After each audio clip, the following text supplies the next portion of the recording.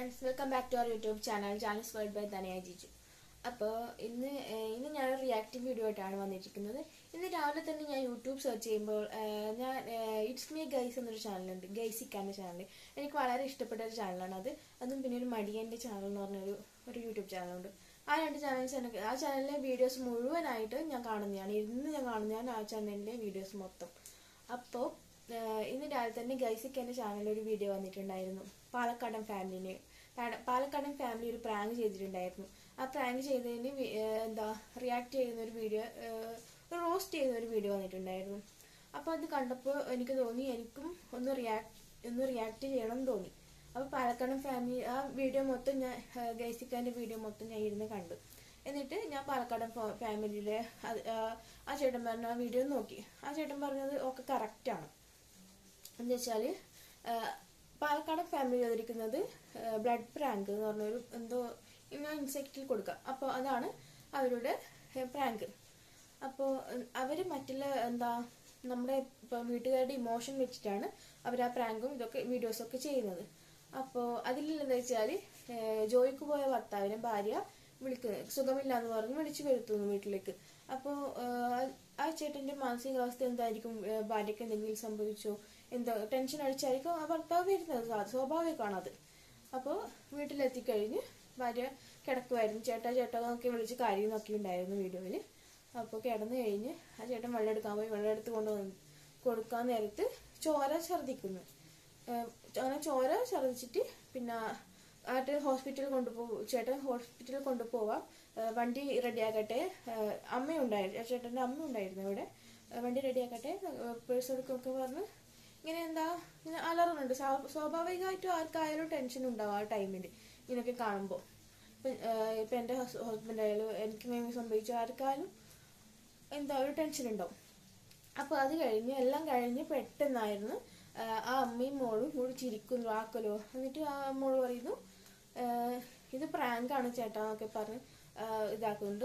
അപ്പൊ അപ്പൊ തന്നെ ആ ചേട്ടൻ അവളുടെ അടി കൊടുക്കും ആക്കുന്നൊക്കെയുണ്ട് അപ്പോൾ ഇതിന് റിയാക്ട് ചെയ്യുന്നതിന് മുമ്പേ നമുക്കൊരു കഥ കേൾക്കാം. ഞാനൊരു കഥ പറയാം. ഇത് യാ- ആ, യാഥാർത്ഥ്യ യാഥാർത്ഥ്യമായിട്ടുണ്ടായ കാര്യം തന്നെ കഥ തന്നെയാണ്. നമ്മുടെ നാട്ടിൽ അല്ലെങ്കിൽ വേറൊരു നാട്ടിൽ നടന്ന ഞാൻ കേട്ടറിഞ്ഞൊരു കഥ ഇത് സത്യസന്ധമായ കഥയാണ്.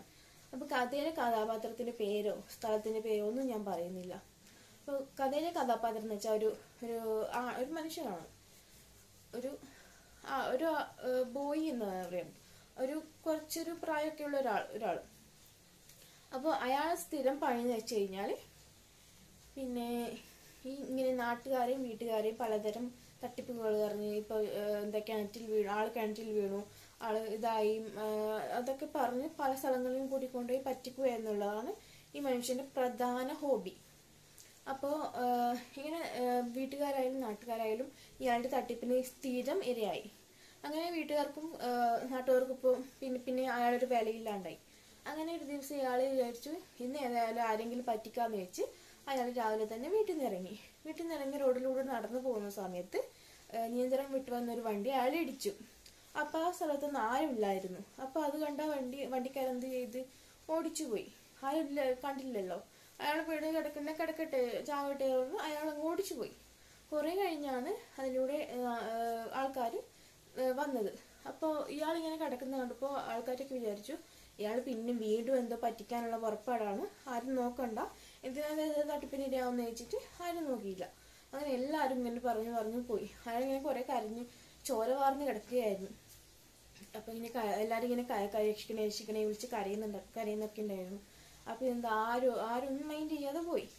അപ്പൊ കുറെ കുറെ മണിക്കൂറുകൾ കഴിഞ്ഞ് അയാൾ അവിടെ തന്നെ റോഡിൽ തന്നെ ചോര വാർന്ന് മരിച്ചു. അപ്പോൾ പിന്നെ പോലീസൊക്കെ വന്നിട്ടാണ് ആ ബോഡി മാറ്റിയതും ഒക്കെ.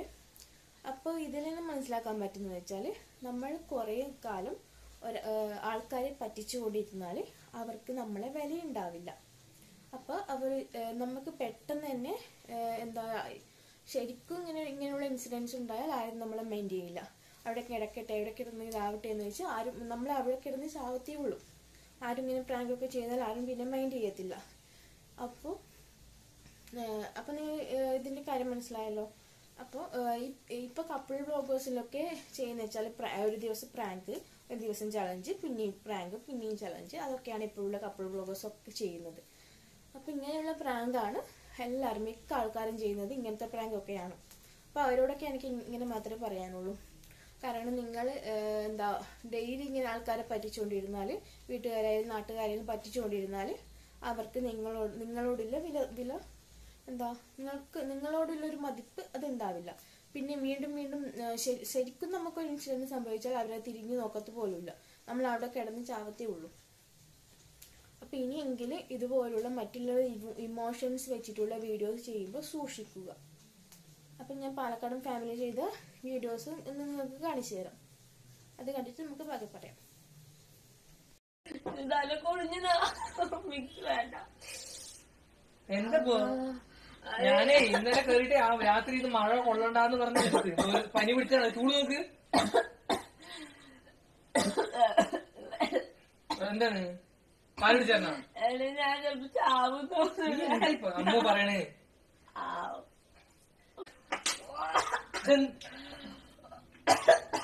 ഇതെന്താണ്? ഇതെന്താ ഛർദിക്കണേ. എന്താണ്? അമ്മ? അമ്മ.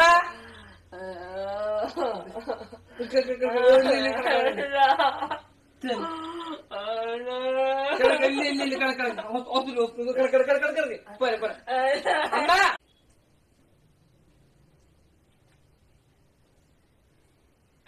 ഞാൻ വണ്ടി വേണ്ട. നീ എന്താ അമ്മ പറയണേ? നീ എന്താ എനിക്കടി അമ്മ.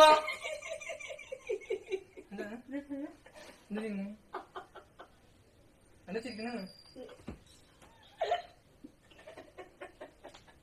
എന്താണ് കാര്യം?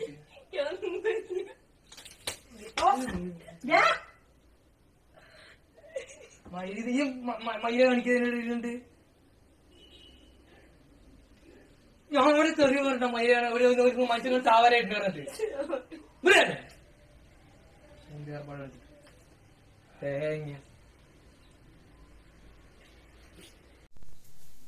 അപ്പൊ നിങ്ങളെ വീഡിയോ ഉണ്ടല്ലോ ആ ചേട്ടന്റെ മാനസികാവസ്ഥ നിങ്ങൾ കണ്ടല്ലോ?